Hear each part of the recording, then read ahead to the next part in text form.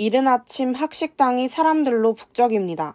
2023학년도 2학기부터 국제 캠퍼스와 더불어 신촌 캠퍼스에서도 천원의 아침밥 사업이 시행되기 때문입니다. 시행 기간은 9월 1일부터 12월 21일까지며 연세대학교 학부생과 대학원생이라면 누구나 참여할 수 있습니다. 학생회관 지하 1층 만나샘에서 이용이 가능하고 학기 중 월요일에서 금요일 오전 8시부터 9시 반까지 진행됩니다. 다만 외부인 제한을 위해 야미 앱을 통해서 학생 인증을 한 후 식권을 구매하는 방식으로만 이용할 수 있습니다.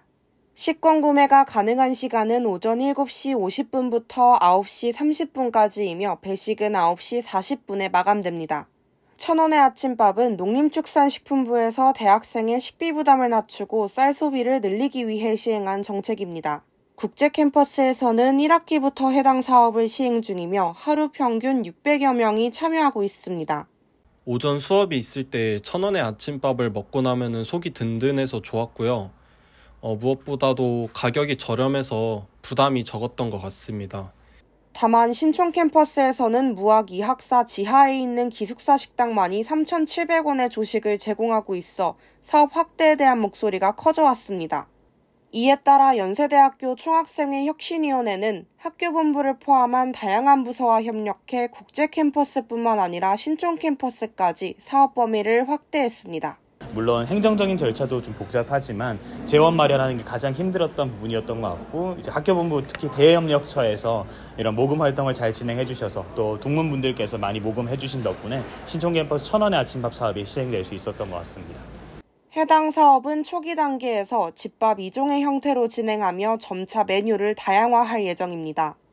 일단 메뉴도 생각보다 진짜 잘 나오고 밥이 진짜 잘 나와서 주변에 자랑도 많이 했거든요. 그래서 막 부모님도 막 보시고 어, 밥 진짜 잘 나온다고 막 그러시고 그래서 또한 혁신위원회는 생활협동조합과 함께 합동 모니터링을 진행하여 학우들에게 좋은 아침 식사를 제공할 수 있도록 최선을 다하겠다는 입장을 밝혔습니다.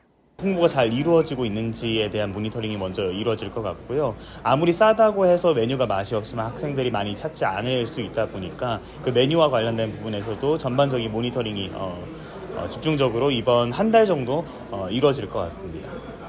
저희 식당에서도 맛있고 어, 유상한 아, 안전한 품질 관리를 위하여 최선의 노력을 하겠습니다. 어, 학생 여러분들은 맛있게 드시고 어, 오늘도 건강한 하루 보내시고요. 화이팅 하십시오. 연세대 화이팅! 저렴한 가격에 맛 좋은 식사를 제공하는 천원의 아침밥, 그 귀추가 주목됩니다. YBS 뉴스 연민주입니다.